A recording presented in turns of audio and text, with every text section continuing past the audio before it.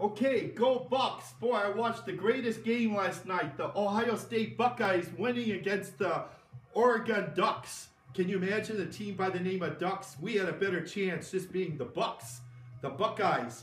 And for the whole state of Ohio, we were definitely the best team on the field. Not only the best team on the field, the best team in the nation as college. And we won the first national championship playoff tournament ever that we ever had in the United States for college.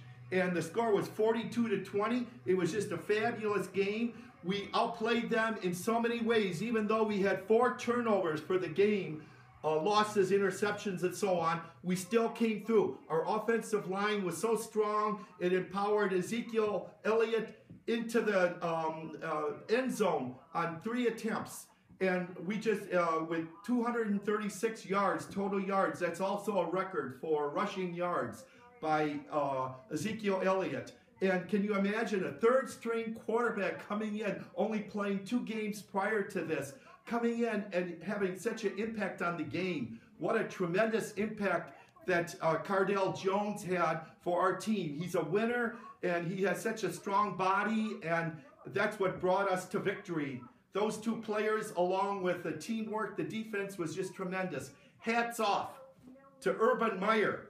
Urban Meyer, hands down, right now is the best coach in collegiate football. He motivates his players. He has passion for the game, and he just knows how to keep the team together and to get bring the best out of every player.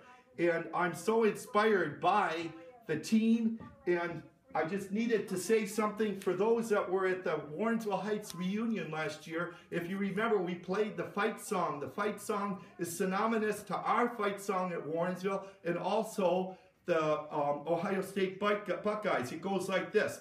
Fight the team across the field, show them that Ohio's here. We've got the team, we've got to set the earth reverberating with a mighty cheer. Go fight, win Hit them hard and see how they fall. Never let their team get the ball. Hail, hail, the gang's all here as we rolled on to victory. And we sure did roll on to victory. It's one of the greatest games that I've seen in collegiate football, and we hope the best for them next year in 2016. And I just needed to let you know that after that game, I stayed up until 1.30 in the evening to, um, to hear all the results and the finals and everything.